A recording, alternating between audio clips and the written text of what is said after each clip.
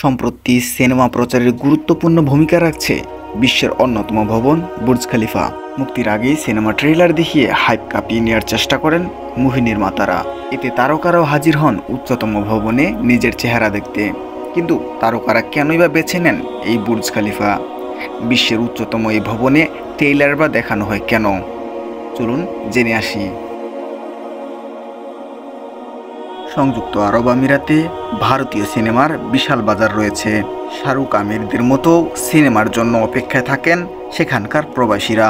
দক্ষিণ ভারতীয় সিনেমার উত্থান বাজার দিন দিন আরও বড় করছে সেখানকার প্রবাসীরা। এই আরব আমিরাতে রয়েছে বিশ্বের অন্যতম ভবন বুর্জ খলিফা, যার সামনে প্রতিনিয়ত দর্শনার্থীর ভিড় থাকে।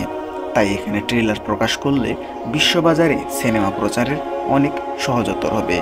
আর এই কারণে বুর্জ খলিফাকে বেছে নিচ্ছেন ভারতীয় সিনেমা প্রযোজকরা। আর বিশ্বের অন্যতম ভবনে নিজের চেহারা দেখার লোভ কার না থাকে। তাই তো ট্রেলার প্রকাশের সময় সশরীরে উপস্থিত থেকে মুহূর্তটি উপভোগ করেন তারকারাও। কিন্তু এই বিলাসবহুল ভবনে ট্রেলার প্রকাশ করতে কত টাকা গুনতে হয় প্রযোজকদের? বুর্জ খলিফায় যে কোনো প্রচারণার কাজ করে দুবাই ভিত্তিক মার্কেটিং এজেন্সি মুল অ্যান্ড লুমিওনা। বুর্জ খলিফায় কোনো কিছু প্রচারণার চার সপ্তাহ আগেই টাকা পরিশোধ করে কন্টেন্ট দিতে হয়। একশো তেইশ তলায় ভবনটিতে কোনো কিছু প্রচারণার জন্য আড়াই লাখ দেরাম থেকে এক মিলিয়ন দেরাম পর্যন্ত খরচ করতে হয়। বাংলাদেশি টাকায়, যার পরিমাণ সত্তর লাখ থেকে তিন কোটি টাকা পর্যন্ত।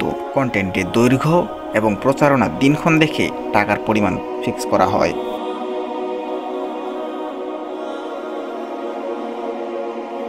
বুর্জ খলিফায় ট্রেলারের দিক থেকে এগিয়েছেন বলিউড বাদশাহ শাহরুখ খান। গত বছর প্রকাশ পাওয়া তার ট্রেইলার পাঠান জন ডাঙ্কি। এসব মুভির প্রথম ঝলক দেখা গেছে সেখানে। এদিকে ঢাকা সিনেমা ইন্ডাস্ট্রিও কিছুদিন ধরে আলোচিত বুর্জ খলিফায়। বাংলার জনপ্রিয় তারকা শাকিব খানের জন্মদিন উপলক্ষে শাকিব খানের নতুন মুভি রাজকুমারের ট্রেলারও দেখানো হবে বলে আলোচনায় এসেছে। আর তাই যদি হয়, তাহলে ঢাকায় সিনেমার বিশ্বজুড়ে এক নতুন মোড়ের উন্মোচন হতে যাচ্ছে। আজকের ভিডিওটা এই পর্যন্তই। ঢাকায় সিনেমার এই নতুন উন্মোচনে আপনার কী মতামত? কমেন্ট বক্সে কমেন্ট করে জানাবেন। আপনি সোহান, বাংলাদেশ।